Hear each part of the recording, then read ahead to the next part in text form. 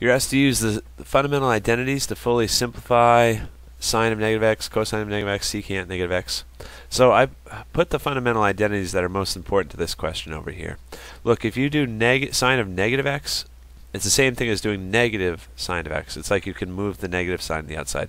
That means sine is an even function. Uh, sorry, odd. Wow, wow. Sine is an odd function. That is the exact opposite of what I meant to say. Sine is an odd function. Same thing with tangent. Tangent is odd because you can move the negative sign right to the outside. If that property holds, like if you have a function where you could put a negative 1 and it's the same thing as putting in positive 1 just with a negative sign multiplying at the end, then that means it's odd. Cosine is what we call an even function.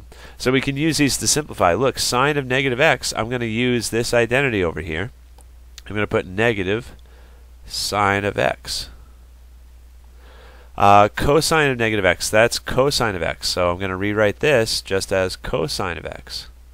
And then secant of negative x. Now this one follows from the fact that cosine is even. That means secant has the same property.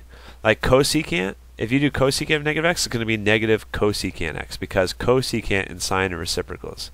Secant has the same type of property as cosine.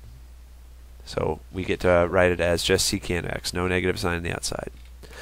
And now to simplify this a little bit further, uh, nothing we can do with the first two. Those don't do any sort of cross-canceling business. But look, cosine and secant are reciprocals, right? So you could rewrite secant as 1 over cosine of x. That's the definition. Um, that's, how, that's one way we can define secant as the reciprocal of cosine.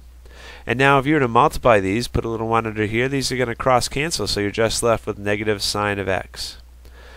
Um, so we're supposed to put parentheses according to Mobius. Let me try typing this up in Mobius, to make sure everything works out right. Negative sine of x. Let's see if it likes that.